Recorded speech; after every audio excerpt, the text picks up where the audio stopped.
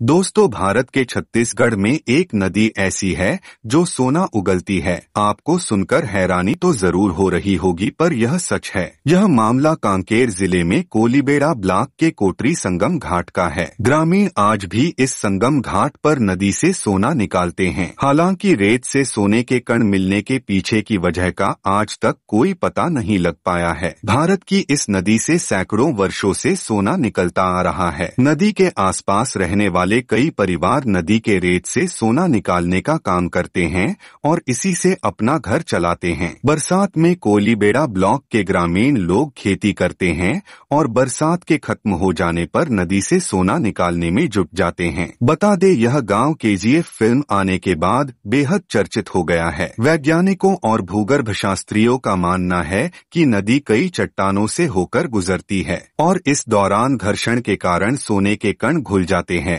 जिसे ग्रामीण लोग छान कर सोना निकालते हैं। जानकारों का कहना है कि ग्रामीण कोटरी गाँव के संगम घाट से सैकड़ों वर्षों से सोना निकालते आ रहे हैं। ग्रामीण लोग नदी से निकाले जाने वाली मिट्टी को डोंगीनुमा लकड़ी के बर्तन में डालकर अच्छे से धोते हैं और बचे हुए बारीक कणों को इकट्ठा किया जाता है। कणों की अधिक मात्रा होने पर हिलाया जाता है, जिसके बाद कण को पिघलाकर सोने का रूप दे दिया जाता है। इस सोने को क्वारी सोना कहा जाता है और इसे शुद्ध सोना माना जाता है। कई पीढ़ियों से ग्रामीण परिवार सोना निकासी का काम करते आ रहे हैं। तोंझरिया परिवार आज भी सोना निकालने के पुश्तैनी व्यवसाय में जुटा हुआ है। पारिवारिक सदस्य बड़गाम, पतक्सा, कोंडे, घमरे नदी, खंडी नदी, कोटरी नदी, बड़े डोंगर और रावघाट के अलावा महाराष्ट्र की भी कुछ नदियों में जाकर सोना निकासी का काम करते हैं। नदी से निकलने वाला यह सोना हाई क्वालिटी का होता है।